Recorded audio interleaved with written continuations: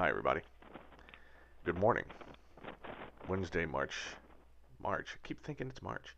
May 27th, 2020. So, today we're working on, you know, a little hodgepodge, mostly wiring, right? About 99% wiring. So, what you see me working on here is actually grouping wires together and doing a lot of labeling and shrink wrapping. One thing I've learned while doing all of this fuselage wiring is that labeling is key and grouping is key, right? So, you know, to keep things easy and to keep them from becoming rat's nests, I found it easier to just, you know, let's say that I've got a bunch of wires that all go to one specific instrument. Great. Let's just group all those wires together. Let's shrink wrap them together. And then that way, when we put the bundle together, we can identify where they are, and when we need to replace them, it'll be easy enough to take them all out.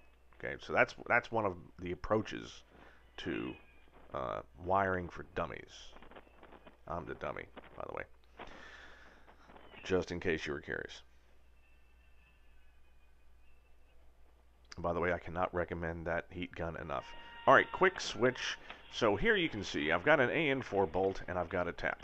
They might be asking, what the hell are you doing doing with that? So there's two bolts that you need to have to secure the gas struts to the front of the panel so that you can support the canopy weight, right? And they're AN4-7 bolts. So in your RV14 kit, Van sends you, for your, for your finishing kit, Van sends you four AN4-7 bolts. Two of them, however, are special. Uh, they they have an extra about quarter an inch of threading on them. Well, not shockingly, I use those bolts somewhere else. and they are in a place where they cannot come out. Actually, uh, what where they are is actually holding down the roll bars bottom fittings. It's a long story. I did it months ago. So knowing that I can never get those out again, and thankfully they are torqued properly, I just went ahead and got a tap, and I tapped the uh, other two that I had. And so everything works out. And when you might accidentally do that too, just remember what you need is a 1 quarter by 20 tap. 20? 1 by 28. It's one of those two. Alright, so now that uh, I've gotten that, and I've gotten a bunch of these wires bundled up, we're going to go, I'm going ahead and I'm running these things. So the first time we tried this, it looked more or less right. The problem was bundling, right? So when you're bundling wires,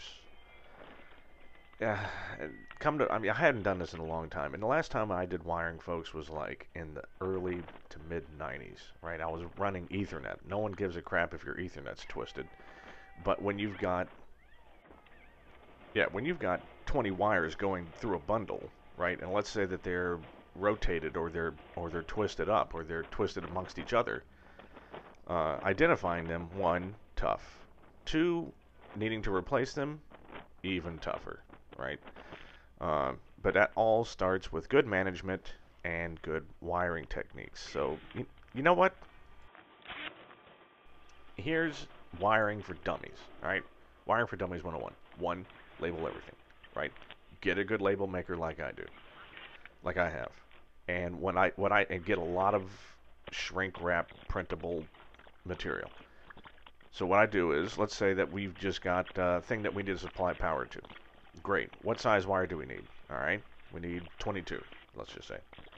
Uh, we need uh, 8 feet um, of red, and we need 9.5 feet of black. Why do we need more black? Because the black has to go all the way back to the grounding bus, right? Okay, great. What do we do next? Twist them up. All right, so we make the twisted pair, uh, which I just use. You've seen me do it with a drill bit and my vise, right, to twist the wires up. All right, what do we do next?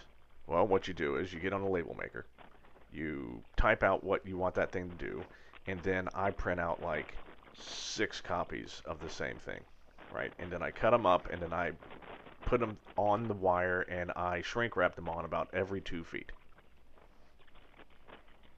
I know it seems silly, but trust me, you, you it, it helps. Now the only hard part is right because uh, all these wires are cut with a lot of extra length. So where do you side, where do you put the excess? Do you run the excess up at the top, right? At the top of the behind the panel, or do you run the excess down where you actually need the piece of wire, right? Like if you're doing your microphone.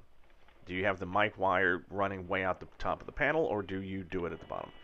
I've elected to do it at the site, which may or may not be the best idea, but it's definitely one of them. Uh, so that's a little hard because I sometimes don't have the labels right at the site where they're going to be wired up. So anyway, ramblings of an insane man. Uh, in the next video, we're going to work on something actually a little bit cool. So see you soon.